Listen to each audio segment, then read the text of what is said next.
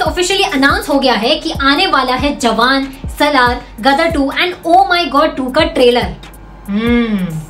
कब आएगा ट्रेलर ये भी बताती हूँ. रुको जरा सबर करो। ये सब बड़े मूवीज़ है और ढेर सारे फैंस इसका वेट कर रहे हैं। भाई झगड़े शुरू हो जाएँगे फ़ैन बेस में कि किसका ट्रेलर अच्छा है। तो गाइस जवान मूवी का आएगा सीधा ट्रेलर मतलब टीजर आएगा नहीं। जैसे कि आप यहाँ देख सकते हो, Jawan trailer on big screen with Mission Impossible seven मतलब जुलाई ट्वेल्थ से मिशन इम्पॉसिबल सेवन के प्रिंट्स लगेंगे थिएटर्स में।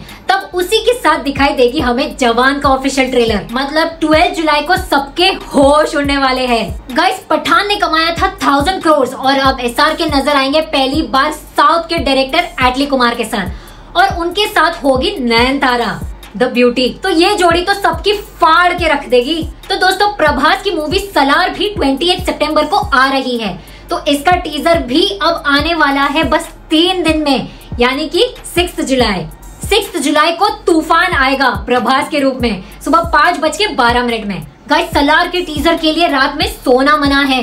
वेल वी होप आदि पुरुष के डिजास्टर को भूलकर प्रभास एक बहुत अच्छी पैन इंडिया मूवी बनाए। तो गाइस जुलाई 12 को आएगा जवान ट्रेलर और जुलाई 6 को आएगा सलार टीजर ये दोनों ही एक्टर सबकी वाट लगा देंगे। अपनी कुर्सी की पेटी बाँध लो। गाइस वीडियो पसंद आए तो प्लीज़ लाइक करें और चैनल को सब्सक्राइब थैंक यू